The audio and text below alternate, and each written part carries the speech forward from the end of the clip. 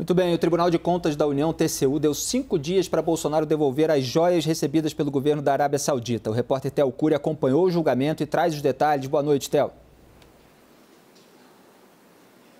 Oi, Felipe, uma ótima noite para você, para todos os estúdios, uma excelente noite para quem nos acompanha. Uma determinação unânime do Tribunal de Contas da União. Todos os ministros votaram no sentido de Jair Bolsonaro, em até cinco dias, entregar à Secretaria-Geral da Presidência da República as joias e os presentes que foram dados pela Arábia Saudita para ele. Não só isso, também nesse mesmo prazo, Jair Bolsonaro vai ter que dar o fuzil e a pistola que ele recebeu, desta vez de uma viagem que ele fez para os Emirados Árabes Unidos. Nessa decisão, também há uma determinação para que a Receita Federal envie aqui para a Secretaria-Geral da Presidência da República aquele pacote de joias que acabou sendo retido pelos servidores da Receita no Aeroporto Internacional de Guarulhos, quando a comitiva de Bento Albuquerque, ex-ministro de Minas e Energia, veio da Arábia Saudita com os presentes em outubro de 2021. Isso tudo vai ficar concentrado aqui na Presidência da República, no Palácio do Planalto. Por fim, também uma decisão unânime, o Tribunal de Contas da União determinou que haja uma auditoria em todos os presentes que foram dados a Jair Bolsonaro durante os quatro anos de mandato de janeiro de 2019 a dezembro de 2022, para ver se há outros casos similares ao que aconteceu com essas joias sauditas e com essas armas eh, dos Emirados Árabes Unidos. A partir de então, a cada quatro anos o TCU vai fazer uma auditoria, uma inspeção, uma fiscalização rigorosa e minuciosa em todos os presentes dados a quem quer que seja o presidente da República, para que não haja mais crises como houve dessa vez com o caso de Jair Bolsonaro e as joias. Para finalizar, a defesa de Jair Bolsonaro diz que vai cumprir com a decisão do Tribunal de Contas da União e que, nesse prazo de cinco dias, vai entregar as joias à presidência da República, onde elas vão ficar é, guardadas e vão ficar sob a supervisão da presidência da República, levando em consideração que esse é um presente de Estado para Estado. Felipe. Obrigado, Theo, pelas informações. Hélio, parece uma boa solução para você que no final de cada governo é, o TCU faça ali um pente fino para ver é, o que, que é realmente patrimônio público da União e o que, que é aquela exceção, que são os itens personalíssimos.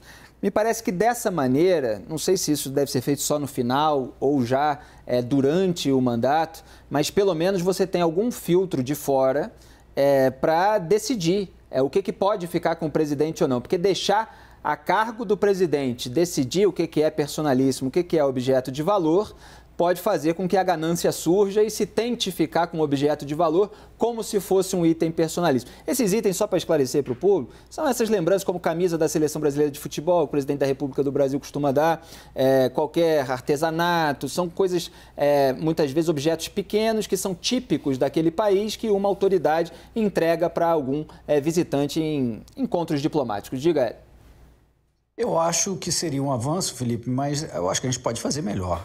A gente deveria ter uma regra, como a iniciativa privada faz, que abarque todos os servidores públicos para evitar conflito de interesse, que qualquer, primeiro, ou recusa-se o presente, ou em recebendo, você agrega ao patrimônio público, exceto esses casos personalíssimos que você descreveu muito bem.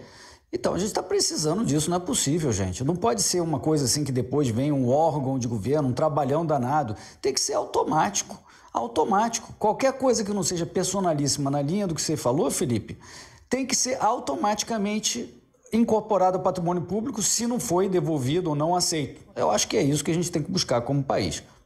É, talvez, Joel, tudo ser incorporado ao patrimônio público e depois o órgão, como o TCU, decidir o que é personalíssimo. Ah, pode levar no final do governo, porque isso é um item pessoal.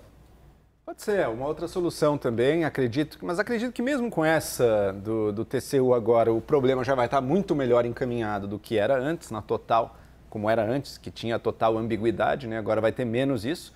Vai ser um avanço para o Brasil, vai impedir situações absolutamente constrangedoras como essa.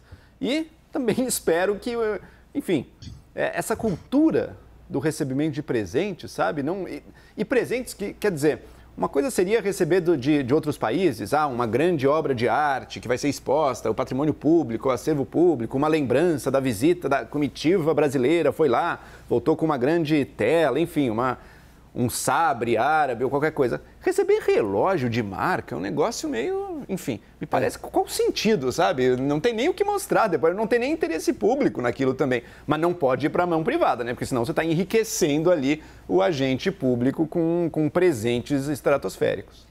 É o ideal uma convenção assim internacional, né, de objetos típicos de cada país. Você incorpora para o patrimônio público e eventualmente oferece como exibição. Né? Isso, Você tem todo bonitas, um mosaico exato, é, de itens típicos de cada país que a população ali, pode visitar. Tinha aquela foto daquele cavalo que até se quebrou né, na viagem. Aquele estava mais dentro do que se espera de um presente de estado para estado, que dá, dá para pelo menos expor aquilo depois. Olha que legal esse cavalo árabe com os, toda a técnica, acho que era de caligrafia ali, não sei o que, que era.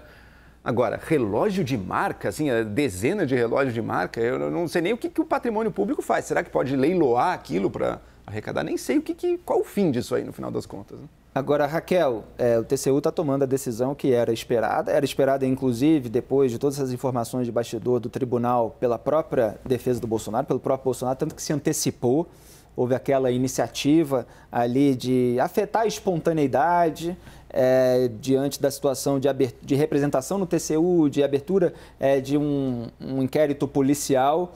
É, e agora o Bolsonaro tem que devolver. Quer dizer, se houve a estratégia do se colar, colou, como eu chamo, não colou e vai ter que entregar tudo.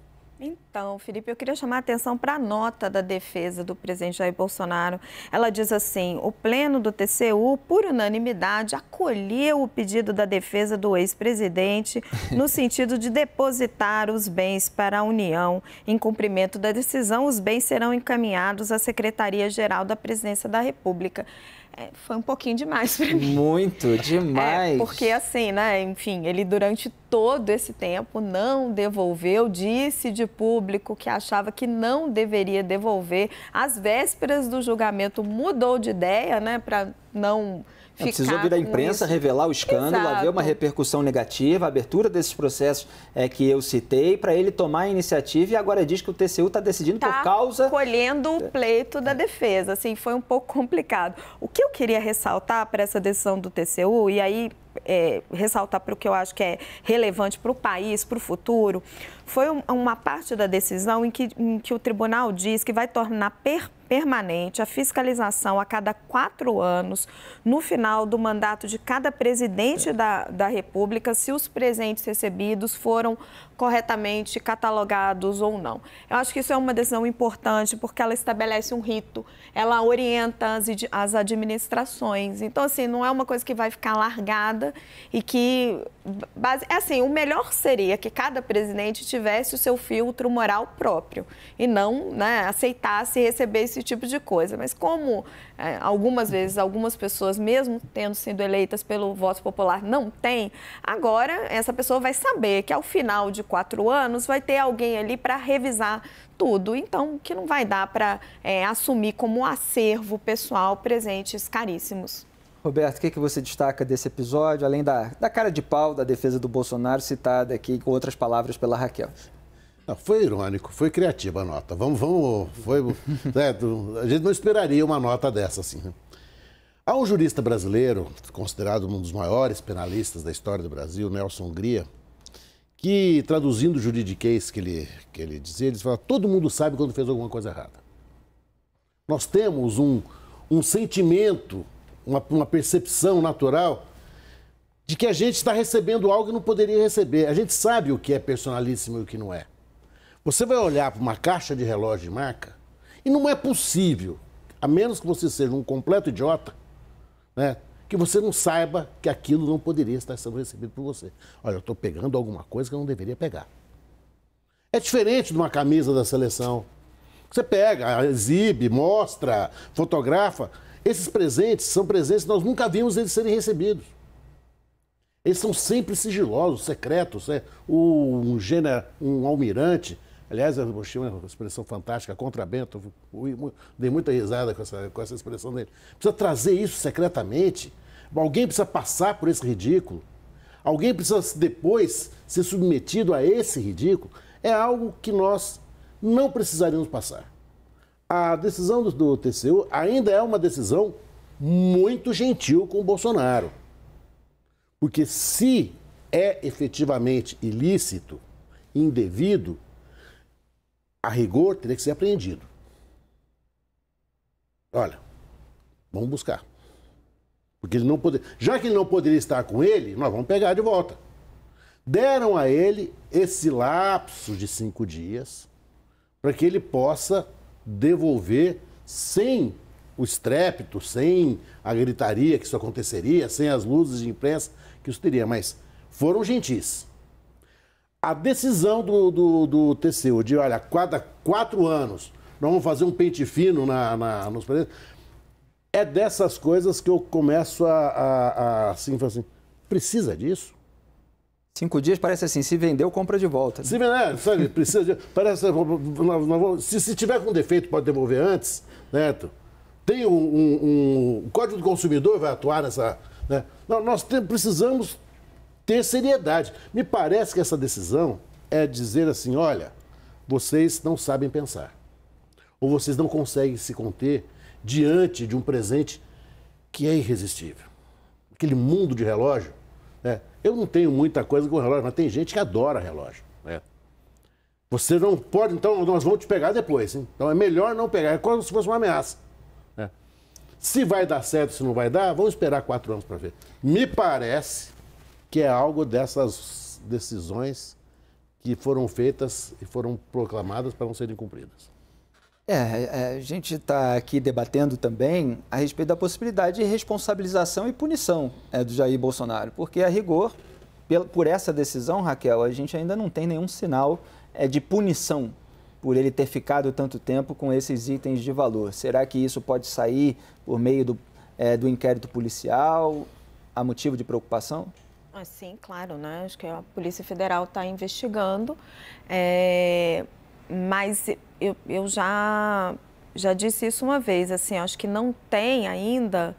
É, vamos ver o que sai do inquérito policial, mas assim, você tem um, um alguns, agora está me fugindo o nome. As previsões legais são brandas são em termos brandas, de punição. exato, porque tem ali, não está me fugindo o nome correto, mas um descaminho na Receita Federal por não ter feito a declaração, é, mas não, não existe ainda provas concretas de um crime de corrupção que o presidente tenha feito algo para receber essas joias.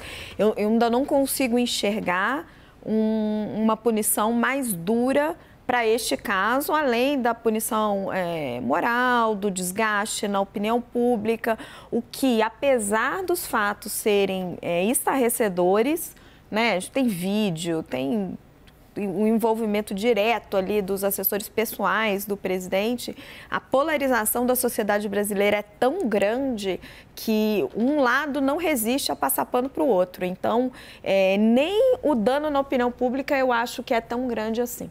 Agora, o lado passa pano para o mesmo lado, né? É, por causa sim, sim. da rejeição, por causa do repúdio ao outro lado. Diga, João. Me parece mais sério o que está se investigando, que aparentemente foi feito na base da carteirada para se liberar fora da lei as joias apreendidas, essa parte está parecendo mais grave do que essa outra kit de joias que, olha, passou pela Receita, passou batido, o presidente aparentemente estava nas prerrogativas, decidir se era pessoal ou se não era, decidiu doar ser para o pessoal. Esse, esse kit que passou e que estava com o Bolsonaro, e que, diga-se de passagem, valia, vale uma fração do que valem as joias, né? Comparar 400 mil com 16 milhões de reais. Muda totalmente de figura, embora na comparação parece pouco, mas um presente de 400 mil reais não é todo dia também que, que você ganha por aí, né? Já seria um valor bastante relevante. Mas mesmo assim, parece que ele estava numa zona cinzenta legal ali, não sei se vai ter, vai ter mais repercussões. Tentar liberar as joias fora da lei ali pode ter coisa mais grave. Hélio, é, você também vê ainda essa polarização, quer dizer, quando aparece algo que soa pelo menos imoral ou que muita gente considera imoral, é, tem um lado que relativiza porque considera que o outro lado é muito mais imoral, tem uma rejeição maior ao outro lado. Então, assim, vão, vão se acumulando imoralidades, mas ninguém vai largando a mão é, do líder do seu próprio campo ideológico, por exemplo. Ah, não deveria, né, Felipe? A gente fica, a gente tem que lamentar esse tipo de racionalização. Não, não é a primeira vez que acontece isso, já citei aqui, o, o, o presidente Lula foi obrigado a devolver mais de 400 presentes, a, a, Dilma mais de 100 presentes e tal. Tem presentes que podem ser consumidos, então não sei lá se, se ainda podem ser devolvidos ou não, tem coisas em aberto lá atrás. E o que aconteceu aqui também é escandaloso. Né? Então, por isso que eu acho que aquela regra que eu estava propondo de automaticamente já ser é, ou recusado o presente ou ser incorporado ao patrimônio público, me parece que é, resolve muito melhor essa questão. Eu acho que tem muita coisa esquisita aí, essa tentativa de liberar é, é o, o estojo do colar né, é, várias vezes de forma esquisita, isso aí pode configurar algum tipo de crime, um possível contrabando é possível também. E outra que a gente, assim, é, qual foi o motivo para esse presente? Existiu algum motivo para isso? Qual é a contrapartida, se há alguma? Aí também pode haver uma investigação. Tudo isso tem que seguir o curso da investigação e ver exatamente o que de fato aconteceu. Mas é uma prática lamentável, racionalização não cabe, é, isso a gente não pode é, é, abrir mão de falar o que a gente acha certo e fazer a coisa certa. Tudo isso está errado, estava errado no passado, está errado agora. E como país, se a gente quer ser um país desenvolvido, a gente não pode aceitar esse tipo de coisa. Agora, uma, uma dúvida, só, só, finalizando esse tema. Espera-se quatro anos com os presentes ali para e uma caixa de chocolate? Se acontece, deixa estragar mas, até julgar? Não, mas aí são perecíveis. Daí pode, aí... daí pode não, consumir. Se for um objeto de uso, um perecível, um objeto uhum. de baixíssimo valor, um objeto de uso um realmente caro. personalíssimo. Um vinho caro, boa. Bom, é que o vinho também em tese dura, né? Quatro anos, isso, né? Mas isso já estava na, na, decisão de 2016 do TCU, Sim. que era, eram essas exceções, o item personalíssimo ou para consumo próprio. Uhum. E aí uhum. se encaixaria. Exato, e a, de, e a decisão do TCU de hoje, ela está reforçando isso. Aí o consumo próprio é o chocolate, mas se a caixa for de ouro. Acho que os shakers vão vai... começar a dar vinhos e valores exorbitantes é, aí é também. Que, é que na verdade parece tão óbvio, né?